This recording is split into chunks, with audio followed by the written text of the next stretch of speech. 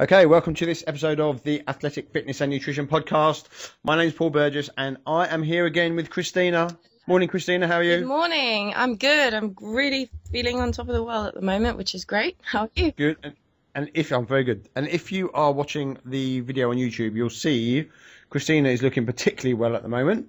And there's a whole big reason for that, and we're going to talk about that today. Yep. Um, so yeah, let's get straight into it, Kristina. We are going to talk about your prep because you are going to compete in how many weeks is it? Uh, seven weeks out now. okay, and it's the UKBFF um, qualifier. Which Yep. It, which um, category are you going in? it's body fitness. It will be the South Coast Portsmouth Guildhall on the 26th of April. So if you want to go down and support Kristina, feel free. Get down there, cheer, have banners, all that sort of stuff. Make her feel at home. Um, so let's talk about it. What did you do? When did you start prepping? If you're six, seven weeks out now, when did you start prepping? Where? How did you even change things? Okay. Where, where did that? Well- where did that cut off come? I started out 16 weeks out, which was, you know, January after all of the New Year's and the Christmas, re- relaxing, shall I say.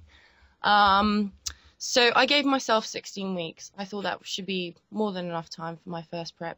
Um, I'm not really one to get really out of shape, and I'm not one to do the whole bulking, your stereotypical bulking thing. So I wasn't, I wasn't too worried about the amount of time I had and fingers crossed, touch wood, so far everything is kind of going in the right direction. I think I'm, um, if not ahead, then I'm certainly on track.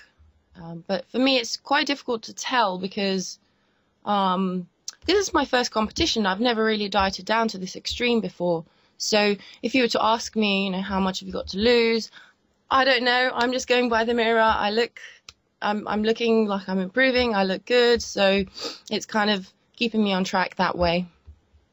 Yep. And I remember actually asking you that very question Mhm. and saying, "How much do you think you need to lose?" And you just looked at me and went, "No idea. I don't know. yeah. I'm not sure." Um, 16 weeks. That's quite a long lead up. Mm. for a lot of people. Um, my personal opinion is that the longer you can do it, the better. Mm. Some people tend to want to do it shorter because it means they've got to be more disciplined for a short period of time.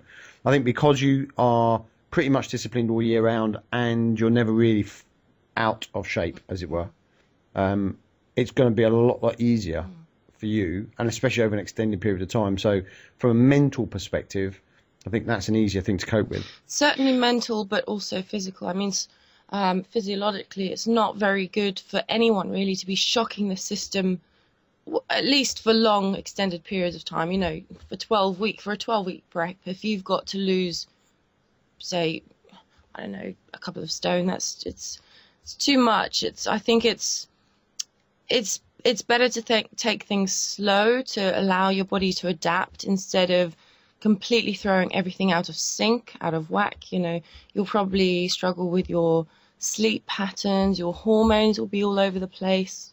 Um, obviously, your metabolism. So, yeah, I don't, I don't really think that's a very healthy way or productive way to do it or sustainable way to do it if you were just And, and you'll also lose a lot of muscle mass on the way yeah of doing that, absolutely which is which is really really people don't get how important that is because the more muscle mass you've got, the more fat you will burn because you'll have a higher basic metabolic rate. And people, I've seen them dieting down really quickly, or worst is they come to me and go, right, I've got a comp in eight weeks, and I need to get into shape, and you just go, well, just don't do the competition. Go and do another one later in the year where you've got some time to prep for it. No, no, no. I've said I'm going to do this one now. I've got my bikini or I've got my my place. I've booked it, and it's just it just doesn't make sense. Uh, people just are so naive to it, and I think one of the reasons over the last couple of years, literally over the last two years, why it's become so popular is that more people are seeing other people in their gym competing. Mm-hmm. They don't see them as anything special. In other words, well, they're someone I know in the gym. If they can do it, I can mm. do it. They jump on that whole bandwagon of right, I've got to get ready. They find themselves a coach potentially, or they try and do it themselves, mm. and they cause all sorts of problems. Mm. Whereas three years ago, you might have had 50 athletes at a competition. Now you've got 200 Mm, yeah and more and more people are just jumping on it because they think it's easy and they get themselves into all sorts of problems, especially, in my opinion, the, the ladies, Mm-hmm. because it causes a lot of eating challenges and many disorders come out of it, messed up metabolisms, you know, 500 calories a day with three hours cardio nonsense going on. Big, big problems. Anyway, so, yeah. Well, it's funny. I mean, just to touch upon the subject of uh, shocking the system, and as you know, right at the beginning, I got even I got very excited, and I planned a little mini cut for four. I wanted four weeks, and even though, as I say at the start, I didn't really have a huge amount to lose, I wasn't out of shape. But I thought, right, this is this is going to be really cool. I'm just gonna do a really quick, short stint of four weeks just go balls to the wall, lose as much as I can, and then just get back on track and sort of cruise through. I was so excited. I just wanted to see big changes straight away.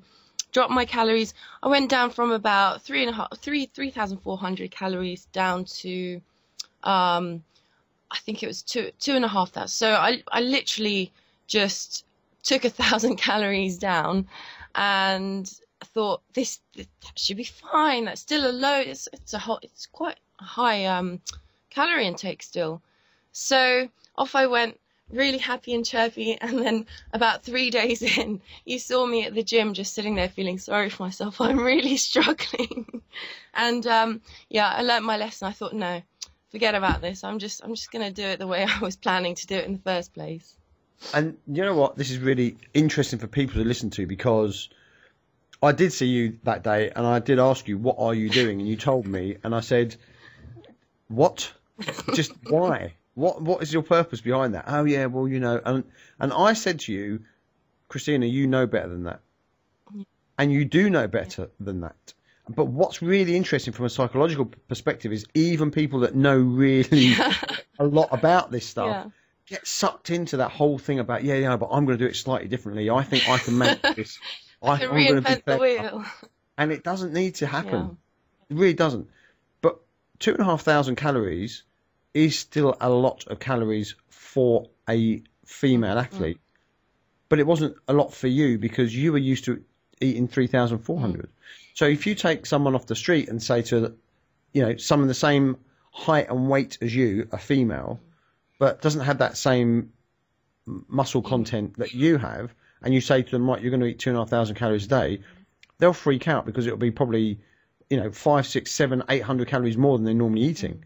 But for you, that's a completely different thing. So again, it's, It's another all thing about absolutely. Absolutely, absolutely, and that's what's really important to get. So once you got over your um, nonsense and uh, and thought that you could reinvent the wheel, and got yourself back on track, thirty four hundred calories, and then what happened? How did you start looking at what you were going to do? What was your plan, and how did you put that plan together? Okay, so plan was to go as modestly in terms of my deficit as possible. Just try and get more bang for my buck. Um, I think I lowered it down to 3,200 at first. Um, I believe I did it for about two to three weeks. Um, then I took it down to 3,000. Um, so that would have been another two to three weeks. Yeah, it's, it's I think I did three, three, and three because I'm not. I think I'm nine weeks in now. So it would have gone from 3,400 to 3,200, down to 3,000, and now I'm on 2,800.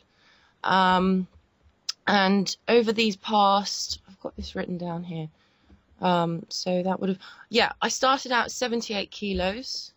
Um, so within the nine weeks I've been dieting, I weighed myself this morning. I'm 72.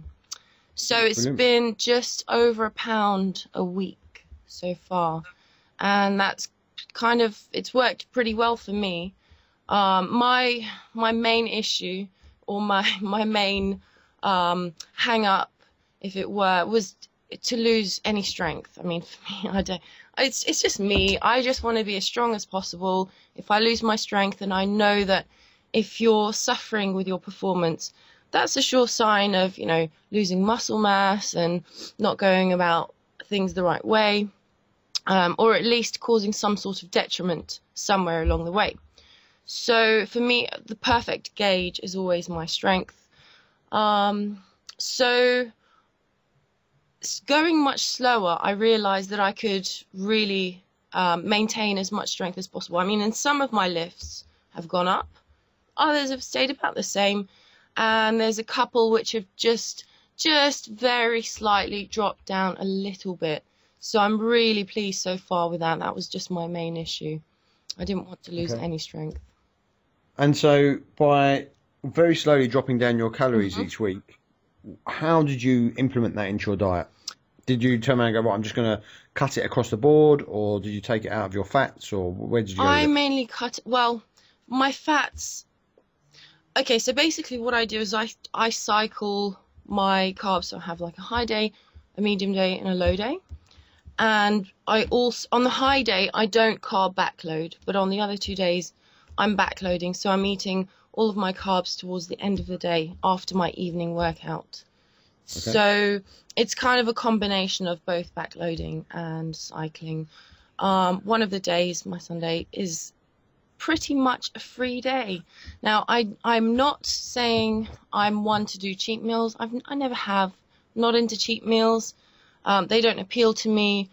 I think each to their own, and if it works for you and you need that psychologically, then that's perfectly fine. For me, I just prefer to have um, freedom, as it were. But I'm quite um, I'm quite sensible with that freedom. So if I might feel like I need a treat or a Quest bar or two, Sunday will be my day usually to to fill in my. But obviously, I'm watching out for my calorie intake just as a general rule. Um, one thing I have to say is that I no longer weigh my food unless it's um, meal prep. Sorry, on the Sunday I don't I don't, Right. I don't um, do the whole MyFitnessPal on a free day. I just want it to be a nice relaxed day. Um, for my other three days, I usually cut down on the carb intake. Um, I function quite well on fats, and I enjoy. This is the reason why I carb backload because I really enjoy it. I feel like I'm full of energy. I feel like I'm um, focused throughout the day. So for me, it just works. Um, How do you? Okay, so how do you feel on the day that you're on your high carb day? how do you mean I feel?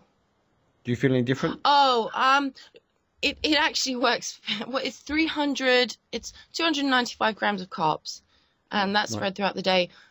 I feel fine on that, and I think both ways work for me.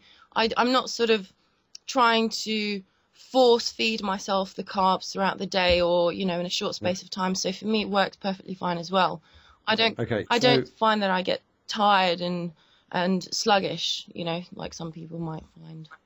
Okay, so this is interesting from my perspective. So it's two ninety five on a high day, hmm and then the next day, which is your medium day. Medium day, I have got 169. So Okay, and then on a low day, low day is 57 or thereabouts. so, and they're they're all uh, two thousand eight hundred calories. These are, yeah, well, 2,900. Then I've, that's on the high day. 2,800 on the medium. 2,813 on the on the um, low. Okay, so what are you doing then with the other macronutrients on those days? You keeping the protein the same and then adjusting the fat? Protein pretty much stays the same. Well, it's for me. I, protein it it tends to stay around the same between 170 to 200 grams, but I'm not. I just need a minimum of my 170 that I would say, um, in terms of pound of, of Yeah. body weight. I don't do lean mass because that's difficult to um, for anyone to to um, to assess accurately. yeah. Um, so I would adjust, I would tend to adjust obviously my carbohydrates. Um, and my fats, let's see, fats, fats obviously lower on the high day, 96. Um, medium day they're 149, so almost the same as my carbs. And on the low day they're high, they're 178 grams. So, yeah, so you're cycling your carbohydrate, but you're also cycling your fats to keep. Pre- that, yeah, pretty um, much to to keep everything in balance. Yeah. Yeah. Um, but what's interesting then is carb backloading. I understand the principle very well. Um, but the more study I do with regard to timing of the carbohydrate, Mm-hmm. the less I think it's important. Oh, really? I understand the whole yeah GLUT4 receptor, etc., etc. But I think it's more. It's been made more. There's more made of it than it needs to be. Mm-hmm.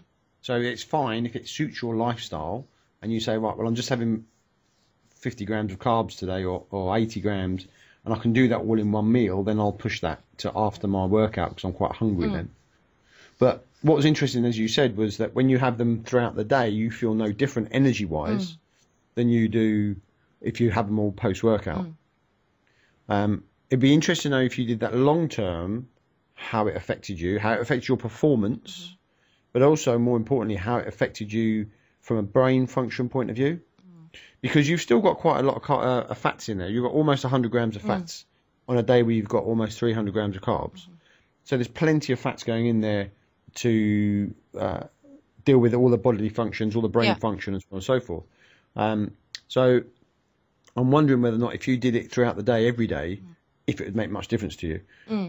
I'm not saying you should. I'm just Yeah. saying it's interesting to me that the timing of it might not be that important anymore Yeah. compared to what people think. I think also just having variety. For me, it's it's just always worked across the board in terms of everything I've ever done. I Yeah. get not necessarily get bored. By nature, I am very. Um, I have a short attention span. I need to be doing ten things at once. I'm always multitasking. I need to be um, in three different jobs or career endeavors at any one time. So with my diet plan, variety is always going to be key for me personally. Um, Yeah. Some people really enjoy that regimented, everything the same because they feel like it's more routine, it's more um, constant. Personally, I it just doesn't work for me, and I think in terms of food choices as well, that's hugely important to make sure you've got as much variety in there as well. Definitely. If you're going to eat chicken, rice, and broccoli at every Mm. meal for 12 weeks, you are going to be deficient in all Mm. sorts of nutrients and you're going to feel like crap. Yeah, But a lot of people do it the same every day. So, say, for example, if I'm going to produce something for someone and they've said to me, look, I just want the same every day because it's easier for me, because it's something that I can then think of in my head. I don't need to worry about it. It's the same, it's routine, it's almost automatic after the first couple of weeks. I'll still make sure that there is um, a red meat in there, a f- uh, fish, a white fish, oily fish as well. There'll also be probably um, some form of poultry in there, so chicken or turkey, and more likely eggs somewhere. So every meal will have something different in there. It won't be the same every time because you cannot possibly maintain a full nutritional balance just by eating the same thing all day every day, and it'll drive you mad yeah. clearly. Um, but yours is quite complicated because it's completely different every day. I have two days, so I've got two high days, two medium days, and then two low days, um, followed by my free day, relaxed do you, do you Um, um, change your change training, your training depending, on your, uh, uh, high day, high day, low medium day, medium day? Well, I I would have to say no because I understand some people they prefer to be doing their legs on their high day, and you know they'll they'll specifically time it according to their their training schedule. Um, at the moment, I'm doing an upper lower, and I've been doing this for qu- a few weeks. I think pretty much a couple of weeks into my prep. Uh, because mainly I wanted to do really high frequency. I'm a huge fan of frequency, and my upper lower, I've devised a really nice little program for myself, which is upper A, um, lower A, and I've got A, B, and C. So as opposed to people having A and B, I've got three different days, and um, Okay. that's working quite nicely for me. But I'm also, So, so tell us what they are then. What's what's an A, B, and C? um, you Don't go just telling us like little bits and not giving us all the details. We need to know. Yeah, let me just quickly open it up for you.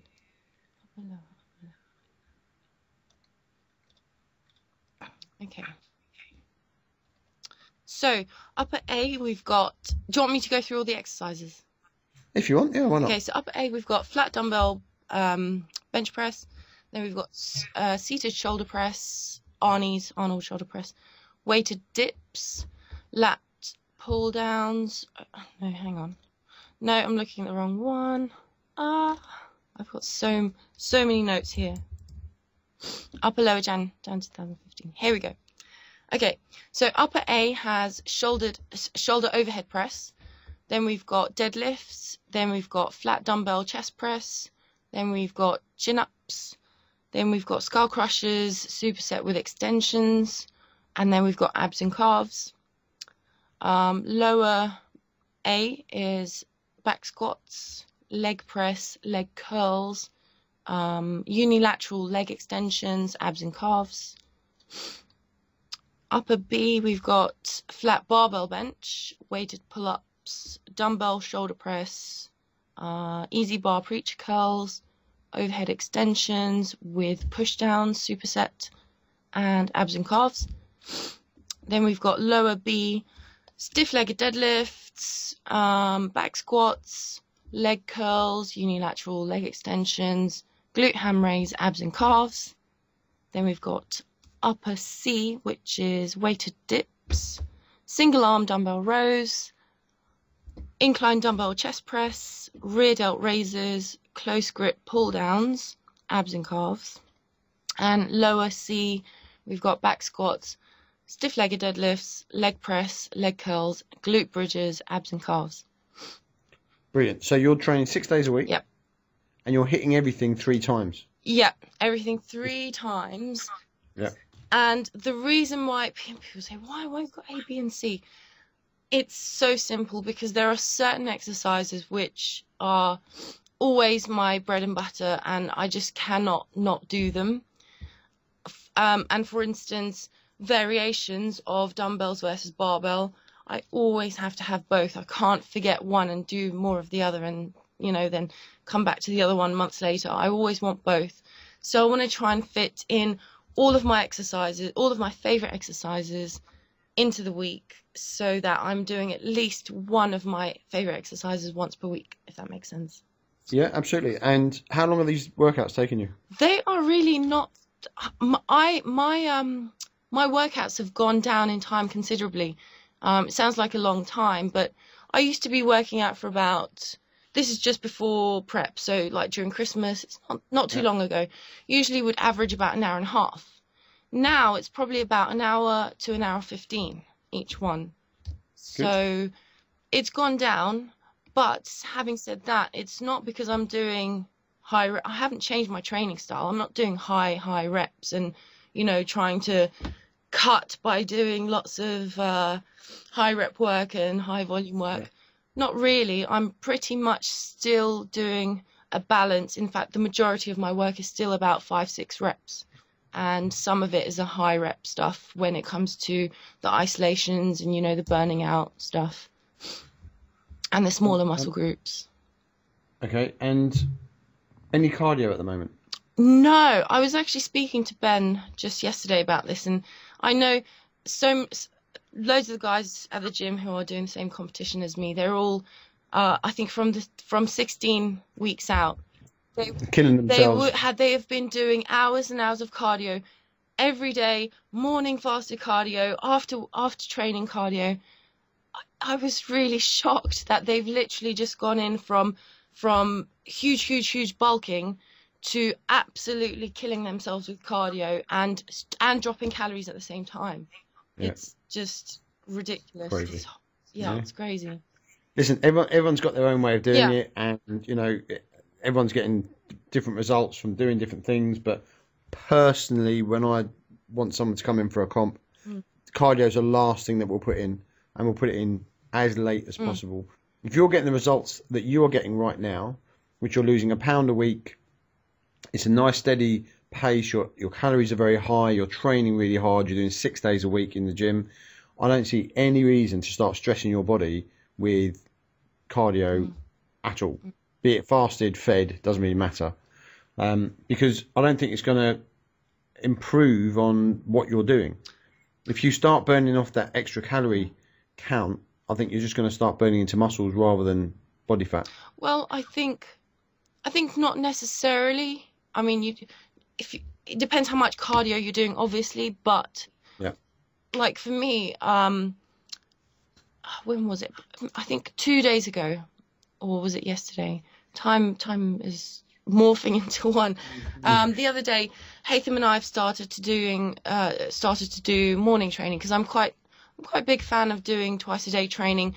Just coming into that last um, half of my prep, I'm keen to do AM and PM um, training. And I was saying to Ben, who's doing his AM cardio, that instead of going in and like walking on the stepper, doing fasted cardio at 6 a.m., I'd rather go in, lift a bit of weights for 45 minutes on BCAAs and not necessarily doing fasted cardio. I'm not as bored as I would be just on a treadmill. And I'm, you know, I'm potentially improving technique and form and developing those motor patterns and just doing something I enjoy, still expending energy, and I'm actually lifting as opposed to doing cardio. And and you'll also be creating better detail Mm. within the within the muscle and also Yeah. Preventing muscle loss. Yeah, Whereas long steady state cardio It's- is your yeah, exactly. It will it will accelerate muscle Mm. loss, and yeah, you're absolutely right. It's boring. Mm. So when you go when you say your workouts are an hour and a half, is that spread across the two workouts, or is that? Oh no, no. and a half So so just the um just the evening workouts are about an hour, an hour fifteen minutes at the moment. Right. And we've literally just done one morning session. I think it was either yesterday or the day before. okay. And it's it's not one of those things that I'm going to be doing every single morning. I'm going to be up there. Just maybe every other day I'll get up and we'll do a nice 45 minute, not huge, 45 minute session in the morning. Just personally my my preference to supplementing my training as it were doing that little bit extra in the morning is just to go by auto regulation do what i feel like. Just do a mixture of things that make me feel good. Yeah. And and do you think you'll bring in any cardio or like traditional kind of cardio on the way in, whether it be HIIT training or? yeah i think HIIT training will be my first port of call and that will probably come in um, what am i seven weeks out. So i would say probably about four weeks out i reckon but depend Yeah. depending how things go i might just see how i come along um, i might do worse or better in the next few weeks because it gets as it gets closer to the time it's um obviously things are going to slow down things are going to start getting tougher and tougher and your body's going to be more resistant to getting those stubborn pockets Yeah. of fat reduced There's, there's there's definitely a place for it later Mm. on.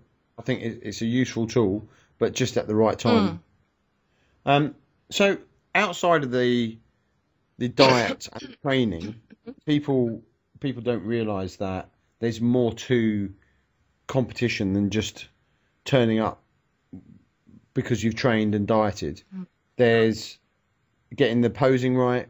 There's getting the bikini in your case correct and fitted properly. There is the tan that's so important, so on and so forth. The shoes. Mhm. Where are you with that at the moment? So my posing, I have, I have a lot of practice to do. Um, I've got a couple of sessions that I'll be doing one on one with a couple of people that are going to help me, uh, who know what they're doing and who know who know what they're looking at. But I don't. I'm not one of those girls that that wears heels on a regular basis anymore. I mean, I'm, I may have done it some stage in my life, always wear heels, but not anymore. And that's the one thing that's really scaring me. I'm going to have to really, I'm going to have to just get so comfortable in those heels and not look like I'm modeling on stage. Tan wise, I have been using um, Mel- Melanotan 2, which I, I've, it's it's an interesting one. I've had, I've had a couple of funny issues with with that. Um, basically, it's it's I came across it um, from a friend that I, I heard was using it and has been using it for a very long time, and I was quite curious. Basically, it was developed, as far as I understand, it was developed to fight cancer by increasing your um, melanin production in in your in your skin, and you basically load up. It's it's like an injection, like an insulin injection, um, and as you load up on it, you can use a sun because I'm not a big fan of sunbeds. Just as a general rule, I don't like I don't like the effect that it has on your skin. It ages you. It's not very healthy, obviously. Um, but I know that you have to start sort of building something up before the competition. So I thought, okay, I'm going to try this, and um, it effectively reduces the amount of sunbed that you should um, that you'll that you can use, but get more more um, more effective tan out of it. So um, I ordered myself the um, mel- oh, mel- melon melanotan or melatonin. I always get it mixed up. And on the first day, basically, you you have to try and load up your body with it in very very small amounts. And the first time I thought I'm quite I have a high threshold to things, and I thought why not just quadruple the the initial first loading phase and let me just you know how bad can it be? One of the side a couple of the side effects are you get hot flushes. That's fine. I can deal with any hot flushes. Second one is just a little bit nausea. You feel really well you, you should feel a little bit nauseous or a little bit funny. So i thought how bad can it be i'll just i'll instead of taking a quarter or a fifth of a microgram I'll just take a microgram, it'll be fine. And so off I went, did my first injection, and quite happy as Larry. A couple of hours later, I was thinking, this this is fine. Got a couple of hot flushes, not not really anything, not any big deal. Then I went off to um, the bank. I had a I had an a two hour appointment with my mortgage advisor, and I'm sitting there in this tiny little office that's absolutely boiling. It's just roasting in there and I've got I've got my car, glass of water, and throughout those two hours, I progressively just started to feel like absolute death, and I thought. I, I just thought I'm going to die here in this room in this tiny little chair, looking like I'm sweating and melting into the floor.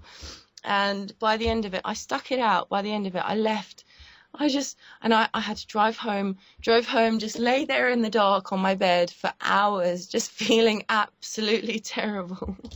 Um, by the end of it, I just, I, I, I took a couple of sleeping pills, which I do not condone to everyone to do, but I thought, right, I just need to help myself get to sleep and just ride it out where I don't have to feel it.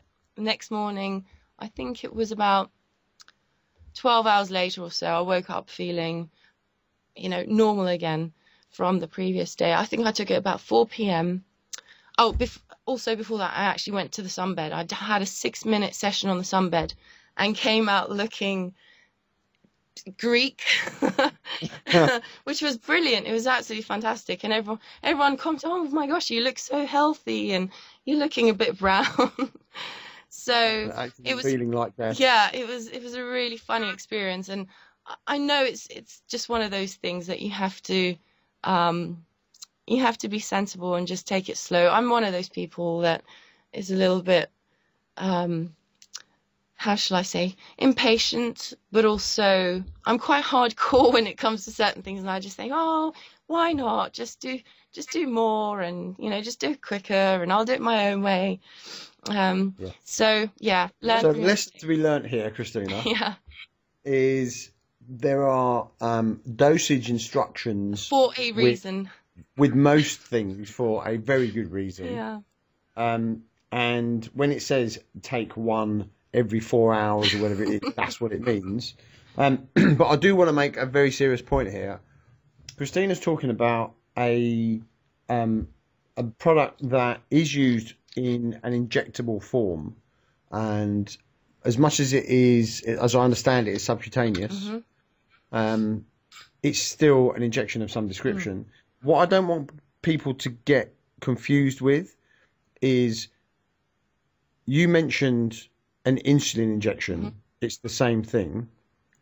Do not anyone get confused with the fact that Kristina is saying she takes a performance enhancing drug of any mm. kind or steroid or she's on insulin inject or anything like that. it's not that at all. Excuse me. And I don't want people to go, oh, I heard her on a podcast going, yeah, she she injects this, that, and the other. She's on the gear, blah blah blah. Because that's not the case. So I just want to make that very clear because I know people will take things as they like. Yeah, absolutely. Not to, not to be mixed up or misunderstood there at all. But um, So yeah, I think it's it's it's interesting. It's had some great results. I've I've literally had three um three sunbed sessions, about six minutes each, and the, the tan is just it's it's considerable, shall I say? it is considerable. I saw I saw you yesterday evening, and it was definitely considerable. Yeah. um, okay, so bikini wise, what's happening with that? Um. So yeah, I've got my bikini already. Um. I've I've actually I've had to send it back just for a, a little tiny adjustment, and aside from that, I should be receiving it back next week on Monday. And and do you think that the fitting of it is going to change significantly between now and, and the comp? Um. Not Because your not body your body shape will change. I no? think not significantly. We've we've had a couple of fitting sessions. Uh, not fitting. Well, I've sent measurements a couple of times, and there are certain ways you can adjust it yourself if you need to. But um, I don't think it will make a huge difference between now and seven weeks. Um, mainly because obviously it's it is stretchy, it is elastic, so certain things like the crossover um, bands at the back they stretch in as you as you get tiny a little bit tighter but i don't think um i don't think i'm it's not like i'm going to lose another 10 pounds or anything so yeah, Good. Okay. And then um, the heels. yeah Got them sorted. i've got yet? those yeah i've had do you know i've had Walking those around- months Walk around the house in them. yeah well i've had them for months before even christmas i think i had them around sort of october september Oh, okay. Yeah.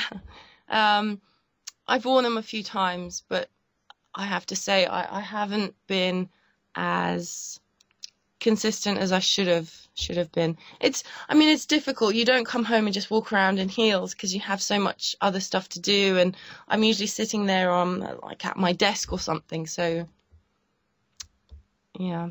Yeah. Well, you're going to have to do I it at some point. It will. It will be literally. I'll be doing about 10, 15 minutes every evening post workout for the next seven weeks. So, I think yeah, get that muscle memory in there as well with the posing.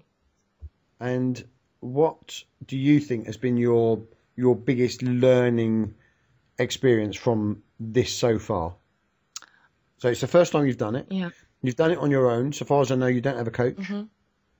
Um, you've created your own training program. You've decided what diet's going to work best for you.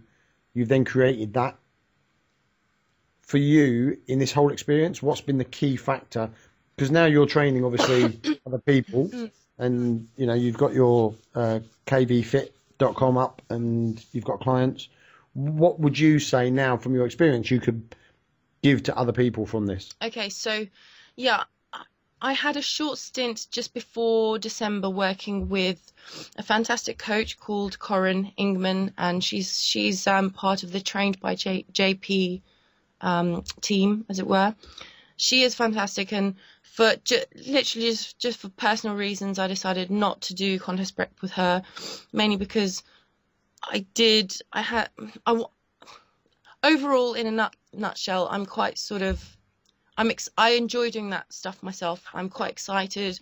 I'm a bit of a control freak, and I like the challenge in myself. I'm learning a lot about myself, and I like doing things how I feel within myself are right to follow. And I'll always constantly be evolving and changing things as I come along. You know, closer and closer to the closer to the um, competition.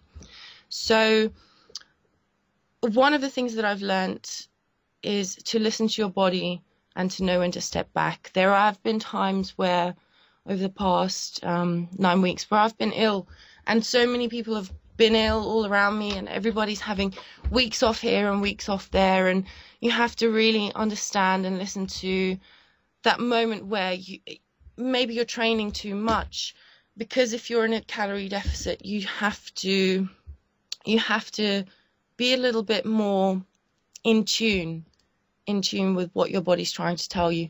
Um, i got a really bad chest infection at one point. This was just a couple of weeks ago which i still am not over. It's really feels like I've got razor blades in my um in my in my um, chest, and it's really awful because you've got Mars, you've got Ben that was off sick. Everybody's just one by one, and it once it when it gets around, especially if you're in a small office. I work in a small office, and people get ill all the time. You have to really be careful. You have to look after yourself, and if it means you need more recovery, a little bit more nutrition, um, you have to really be on the ball with that. And there was What- forcing yourself to go in the gym when you're not well isn't going to do you any yeah, good. yeah.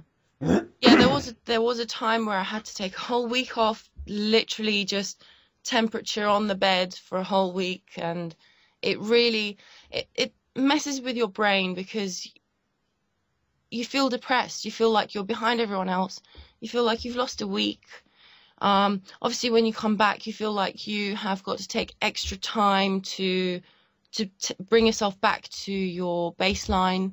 You know, it has an effect on the way you feel and your motivation levels. Obviously, you just everything's kind of you feel like the world is working against you, but you have to try and get over that. You have to try not to stress. Stress is a big one. I mean, I know very well personally things if, things affect me in my in my head, then I cannot train. Some people use it to fuel their training. I'm not like I'm not like that at all. Like I can't even when I'm angry, people fuel their um, their training with their anger. I can't do that. So I can't hear you, Paul. Sorry, how did you approach the way you were feeling um, when you were off ill, and then you would start thinking, "Oh, I'm a week behind, and other people are going to be ahead of me. I'm, I'm not going to lose the weight, I'm, etc." How did you cope with that? Well, you just have to get in there and do it. Can you turn your volume down a bit? Down? Yeah, it's just Is it shouting? yeah. Okay, that's better. Yeah, no, you have to just forget about how well, not forget about how you're feeling, but you have to try and be rational, be logical, um, go into the gym and just get on with it. Just suck it up and do it. You you can't. I mean, when I came back after being sick, the first maybe two or three days, they were horrible. But you have to get over it. Get over yourself and get over that worry because you know full well everybody gets ill throughout the year. You've we've all been ill before and had to come back, and we've all got stronger when we come back. So you have to just rationalize with yourself and and put things into perspective. And you do have seven weeks left, or nine weeks left, or whatever it is. So it's never too late. Obviously, unless it's your peak week and you're sick. But that's the most important thing: is get it out the way, get yourself better, and do not, do not come in prematurely where you can potentially get a rebound effect and just get even more sick. Yeah, absolutely. Um, now, on a brighter note, Mhm. um, I'm not sure if we spoke about this before because it's it's happened quite recently, but you are now a sponsored athlete, I believe. I am. I am sponsored by Five Percent Nutrition that I'm wearing now. Yeah.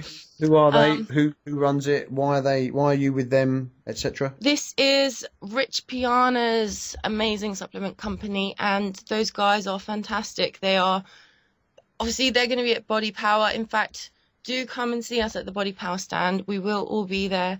Um, obviously, the the five percent um, UK athletes should all be there. I'm definitely going to be on the stand. Um, yeah, I've been with them for I think a couple of months now, and they got in touch via Instagram of all places, and it's I think it's been a long time, not a long time coming, but I've been in touch with a lot of their athletes for for quite a while, and we've been interacting and communicating. So, you know, I'm a fan of their staff, and yeah, it's it's kind of all fallen into place, and I've I've spoken to the right people, and they they they came across me and found me and got in touch, and things worked out. So very excited about that. And it's all come together at the right time because obviously you're going to use some supplements during your prep, Yep. um, and by having them supplied for you rather than having to go out and buy them Mhm. is always always a good move. Mhm. What are you using from a supplement point of view at the moment? I am well. I can go through the whole list, but uh, I'm a big fan of the All Day You May at the moment, which is literally, it's it's turned my life around mainly because, and I've spoken to you about this before. I'm not I'm not very good with the whole water thing. I can discipline myself with drinking a lot of water, but I hate the taste of water and squash gets very boring. Um, so basically, all day you may uh, all your BCAAs, and it's just to you can literally drink it all day. And i will set up myself a whole four litre bottle with all day you may and it will just fuel me throughout the day. And it will get my water intake in and it tastes really good. It comes in i think four or five different flavors. Um, there's, there's also a bit more to it than just bcaas it's got some essential amino acids in there as well yeah. along with other some other ingredients which are actually it's actually a really good mix of um, a lot of different nutrients mm. that you would want to be taking almost throughout the day mm. because you want a, um, a regular steady intake steady flow yeah. of it um, so i mean i've used it before mm. and i see the value of it but i think they've got a really good mix of stuff there mm. and they've just brought out their new creatine supplement which i'm looking forward to it's called creatine uh, real food real food which is everybody was very scared about the concept of it having sweet potato and oats and and uh, fruits in there, and you know the the very odd mix of that. But it's actually really nice. I was very pleasantly surprised. It's quite it's got quite sweet taste to it, and it's quite thick. So highly recommend that. If it's, uh, I mean, if you are one of those people that perhaps takes um, carb supplements, you know, if so that's so that's a carb powder. Yeah that's made from whole foods, yeah. as opposed to just sugar. Mm-hmm. Um, and you would add you'd have that on its own, or you'd add that into a protein shake, or ha- what? You, you can make a shake of it, or you can put it into a shake. Entirely up to you. Right. Um, okay. Yeah, it tastes it tastes good either way. I usually mix it with some fruit and some some frozen fruit and some ice and water, and it tastes really good. And then, so anything else you're using from a, uh, a supplement supplements? Yeah. So if I am training in the morning, I will usually be training fasted except with BCAAs, and along with that, I'll take carnitine and caffeine. Um, not coffee, that is just caffeine. Um, then, so f- with my first meal, I'll usually take my multivit, one gram of omega 3s, um, one gram vitamin C, and 5000 IU vitamin D. Then I've got um, another gram of vitamin C and omega 3 at like midday um, in the afternoon. During my intra, I will take my PeptiPro, my EAAs, my leucine, creatine, and usually highly branched um, cyclic dextrin. And then post workout, one of my favorites at the moment is phosphatidylserine, which is a really effective cortisol suppressor, as it were. I mean, it's it's a very good supplement for specifically for um, exercise-induced um, cortisol. So I take about 800 micrograms of phosphatidylserine along with one gram ALA, and I find that especially if you're training on a regular on a high frequency basis like I am, I think it's fine. I, I find that it's very effective. Mm-hmm. Um, it's also just good for cognitive function, for focus, and just de-stressing. Basically, that's in a nutshell. It's it's a it's a great product. Phosphatidylserine is something that has been recommended for a fair while mm. now for anybody that's got cortisol levels issues.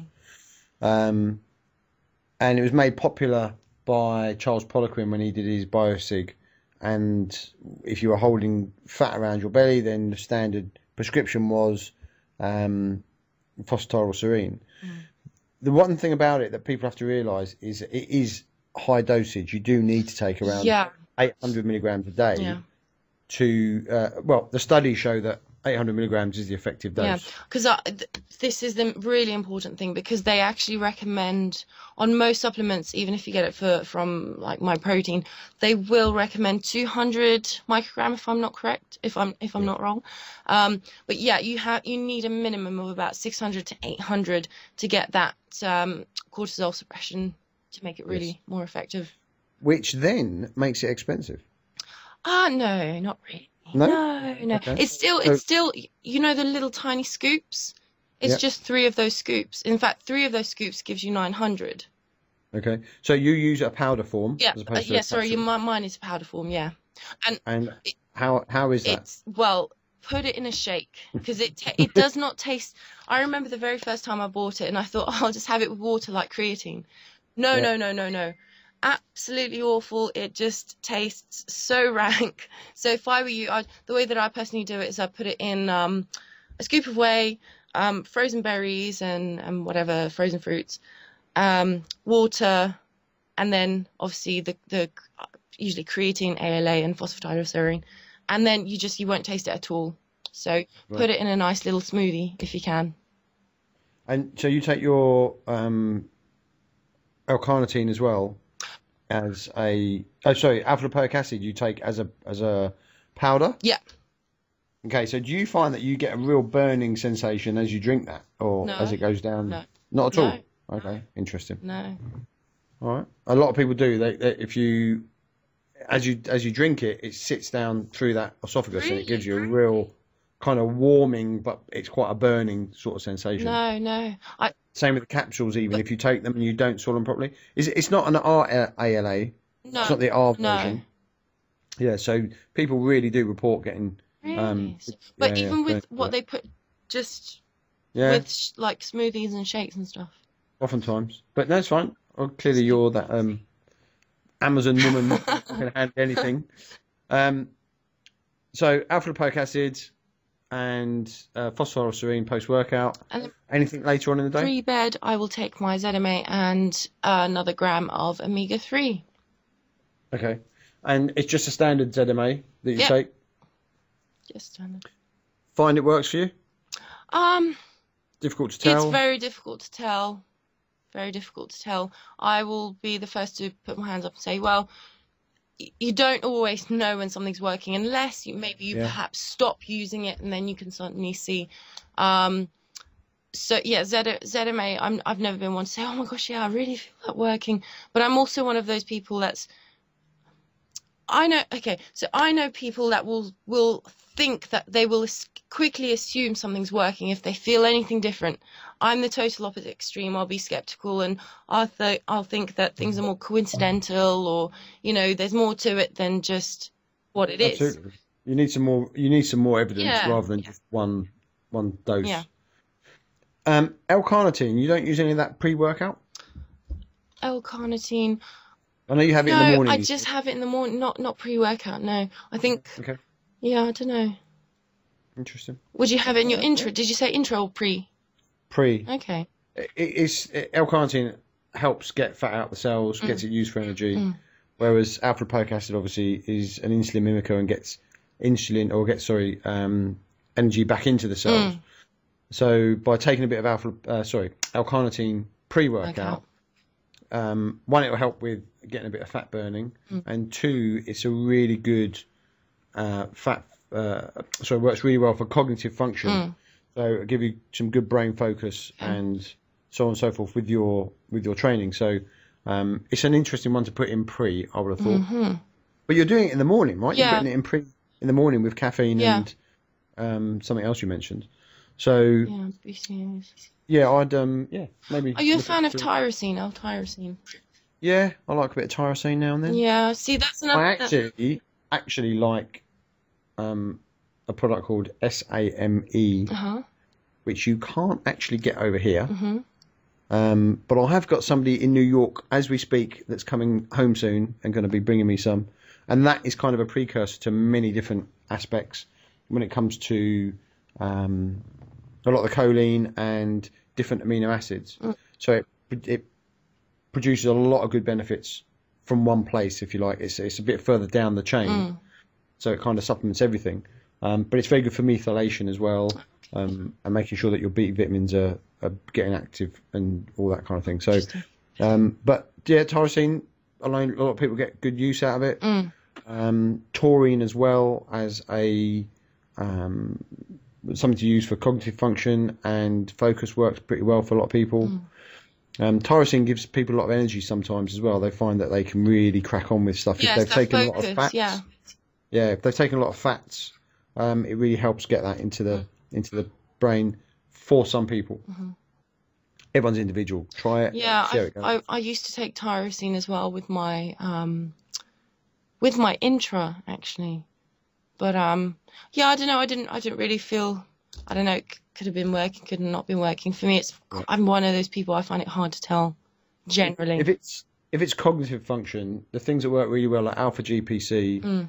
um, uh, what's the others? L-carnitine, um, huperzine A, which is quite hard to get hold of, and uh, there's another one. It escapes me at the moment.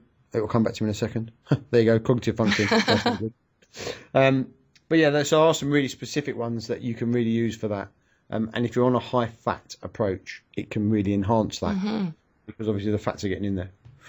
Um, okay, so what's your now your plan for the next seven weeks? How are you how are you going to come into this comp? Well, I actually this morning I was expecting to have to evaluate my um, calorie intake, but I had lost. I think it was I don't know, um, point two of a pound. It was like a couple of yeah. St- still lost a tiny bit from from the past couple of days. So I'm gonna see if I can continue to keep it at 2,800 and then I think I might give it one last push, and then I might start HIIT in the next few weeks. See how it goes. But I, I don't know. I'm for me. I don't. It's not. I know the scale is a very good gauge as well, but I prefer the mirror. I'm I'm Absolutely. big on just looking in the mirror, seeing Yeah. how I look. And also, one of the things I do is just um, take a video of myself all the time on um, on my phone, and just take a video of yourself posing. Look at your videos, see small changes, and do them on a regular basis. Because people think that they haven't changed in you know a few days or a week. They they just don't expect to see any change. But then when you line those up together, when you take screenshots and just put them side by side, you can see small changes. You can see where you need to perhaps work on something or when where you have to address something. So at the moment, I'm literally just playing it by ear and seeing where I need to adjust. Um, yeah. I think it's very important to take pictures and videos. hmm Um, I think the best way to gauge your progress is via the tape measure and Mm. see what what's changing, where it's changing. If it's changing in places you don't want it to, in other words, you're losing size from places, then that's something that needs to be addressed. Uh, if it's coming off in the places that you want, then that's great. But the reason I think videos and photos are important, Mm. and the reason I think you should keep a record of when they were taken is because if you ever do another competition, not necessarily you, but if anyone does one, Yeah. during their prep, they can look back and see Yeah. what they were like at the same time in their previous prep. Mhm. Because if they feel as though, because once you get into competition shape, everything else is fat. hmm Everything else that you do, you'll always be fat. You go, oh, I'm not, I'm not as tight as I could be. I'm not as as lean as I should be. Blah blah blah blah, and that's not normal. But that's where your mind works. Mm. So when you're then coming back into a prep again, and you feel as though, oh, I'm miles out. I was much. I'm sure I was tighter than this before. You can. You've got a reference to go back to and say, look, actually, this is how I looked at the same time last prep, and I came in looking amazing. So I don't need to worry about being too far out or behind schedule. I think I'm in the right place at the right time, and I've got the proof. Mm. Whereas if you don't have that reference to go to, I know for a fact there are people that panic and go, "Oh, I'm I'm not losing it quick enough," or the next person in the gym's doing much better. Everything's individual, so keep that record. It will do you the world of good. Yeah, and I think also one of the things that I found most what what that works best for me is you know goal setting. For for some people, it's they'll set set um, a weekly goal, or they'll look at, at it more of a bigger picture, like their whole prep, or they'll divide it into quarters. And for me, this might sound really strange, but I found it really useful just to take one day at a time. I will set my daily goals, and that's all. I won't think about next week. I'll just think about today, what I need to work on and achieve by the end of today. If there's anything that I need to discipline myself about, whether it's I need to drink more water today, um, get more sleep today, get into bed earlier, things like that. That that is what drives me. That keeps my motivation um, higher than ever. So brilliant. So daily goals work for mm. you, and if you hit your daily goals, then your long term goals have to come yeah, in. exactly. It's literally just taking one step at a time because sometimes people might think uh, things things become things look more like mountains if if they're looking at the bigger picture and they think that there's further to go or too much work and you know it's more more of a burden on them. Yeah, it gets absolutely. more stressful. People, people get very overwhelmed yeah. by something that they look in their head. They look at it and it's massive. Mm. But sometimes if you just change that perspective and you look at that same goal, but you look down on it, yeah, and you shrink it down a bit, all of a sudden that overwhelm feeling has has disappeared, and you you feel far more in control and much more motivated. Yeah, hunger is another big thing for me. It's it's a challenge. But the thing is, everybody, and I've spoken to a few people because a lot of um, a lot of people will ask me on a regular basis about hunger, because obviously my calorie intake is still reasonably high for the average person. Mm. But as as we were saying at, right at the beginning, it's relative, and it might be higher for somebody else, but for my average or for my baseline, it's still lower, and I still do feel really hungry, and it is something okay. that I will have to deal with. I mean, not all the time, of course, not all the time, but there are hunger pangs, and there are times where you feel you feel like giving in to temptation and you know, it's it's not very it's not a very comfortable um, situation to be in most of the time. And how do you deal with that then? Because obviously a lot of competitors do come across it. Yeah, yeah, and it, it is it's one of those it's an ongoing thing. Oh, how to deal with hunger? How well you you can't. It's just part of the game.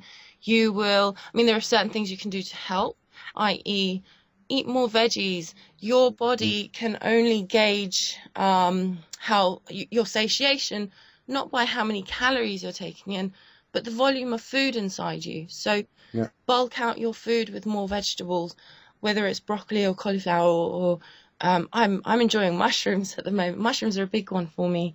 Um, get adventurous with your food. You know, find new food sources and, and things that are going to be more interesting for you.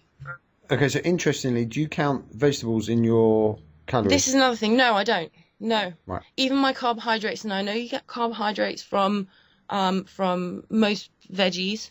I yeah. don't count them. Although to be fair, I don't eat a lot of starchy vegetables, things like carrots and sweet corn um, and peas. But even just your cauliflower and broccolis, they will have, they will have. But I, I don't count them personally. Just my personal. Okay. Thing. And then finally, have you ever tried glucomannan as something to help with hunger? Is that um is that that um that plant? Yes. So it's a fibre. Yeah, it's that fibre plant, and they make like rice and noodles into it. They do make rice and noodles out of it, and it's the most foul thing yeah, in the yeah. world. I don't like it, but no, you have to learn how to you... cook it right. oh, is that what it is? Okay, so you can cook me that one night, and, and I'll I'll try it. Yeah. Joe's a uh, my training partner. Joe's a big big fan of it. He he doesn't mind eating it. For me, I, I just don't get on with it. But you can get um, konjac, which yeah. is the fibre, yeah. as glucomannan in in um, in supplement form. Right. So you can take that as a um, capsule, mm-hmm. and um, it will definitely make you feel less like eating for a while. Mm. Um, so that might be something to explore later on in the in the prep. Yeah, I didn't realise that it comes in a supplement. But the um, as far as the they most people will come across them in the form of zero calorie noodles or or miracle noodles or whatever. And to be honest, I haven't had them in a very long time. I had them probably like a year ago when I first came across them, and the way that I would recommend to do them because they they have this texture um, it's quite rubbery. It's like mm. it's like mushroom almost, but when when you cook it, and it will never crisp up. Like normal noodles will kind of go nice and crunchy, or or you know, um, pasta like. But they're more um, like having a bowl of slugs.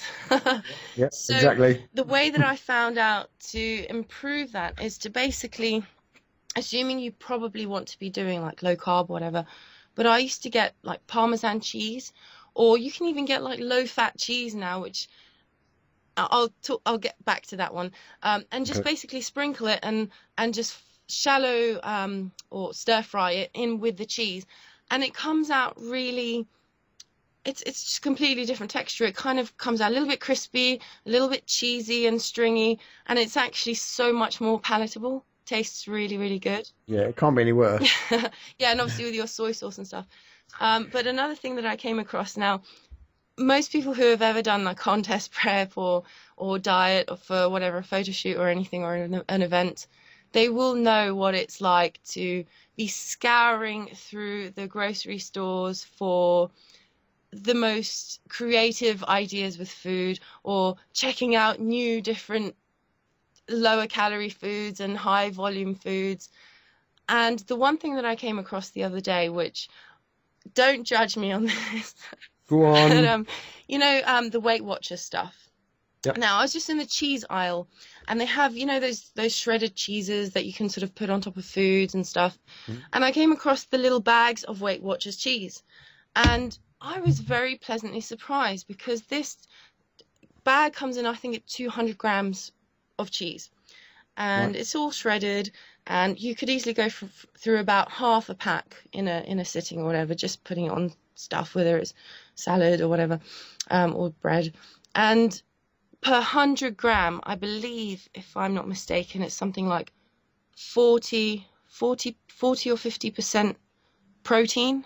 The rest is, I think it's like 10, 10 grams of fat or something. It's really ridiculously low in fat Okay. and most of it is protein. So you can't really complain if you are one of those people that just loves cheese and cannot get it out of your diet. Now, the way that I love to eat it, just as a snack, is get iceberg lettuce, and I would just peel peel off the iceberg lettuce and make like a little parcel, line it with cheese, wrap it up like it's a pancake, but it's a lettuce pancake with cheese inside and a bit of salsa or whatever. Really tasty, really tasty snack. So Excellent. All right. Well, we'll look tip. at that. I'm gonna. I'm gonna have to look at the ingredients first. Yeah, I'm sure we'll put something in it, but um, yeah, brilliant. If it gets you through the day and it, and it keeps you on track, then that's exactly the sort of tip people need. Yeah, it's just for those times where you might have a craving. Now, I, I don't eat cheese a whole load, but there are times where you just might crave a bit of cheese or something. Yeah. And But keeping your cravings satisfied and keeping your brain like you know satiated with the things that you want Yeah. can stop you from going completely off the deep Yeah. end and ending up with your head in a pizza and you know Yeah. having a, a really bad day which can lead to two days and three days i used to know somebody who used to uh, compete as a figure competitor and when she'd have her cheat meal on a sunday she, it would go on and on and on for hours and she really got quite upset with the fact that she couldn't control herself Mm. after the after the evening meal she'd end up eating and eating and eating and it, and it really was a concern Mm. over a period of time i mean she dealt with it in the end but certainly for her first first one or two competitions it was a big problem Mm. but anyway never mind okay so i'm going to let you go because i know you're going to get down to the gym and we've been chatting on for hours um, tell us more about you again kvfit.com is where we will find you kvfit.com, yeah, that's um, do a whole load of online coaching. Most of my clients are online. I've got a nice little client base over in America now, which is fantastic. So Good. yeah, if, if anyone's looking for that sort of thing, just come and check me out. Obviously, and, and what do you offer on there Sorry. Um, I do training programs and diet plans for everyone, and of course, I'm one of those people that I love to support my clients along the way. So I'm always just at the other end of the line, whether it's email or phone or WhatsApp, or whatever, just to give that people people that moral support that they need to succeed. Good. Go and check Kristina out. And if you're going to be anywhere near Portsmouth or you've got anybody else going there on the 26th of April, then go down and uh, cheer her on because I'm sure she'll do very well. Thank you. Fingers crossed. All right, I'm- yeah, fingers crossed. All right. So I will see you soon. In the meantime, enjoy your workout. Cool. Thank you, and I'll see you soon. All right. Take care. Bye. Bye.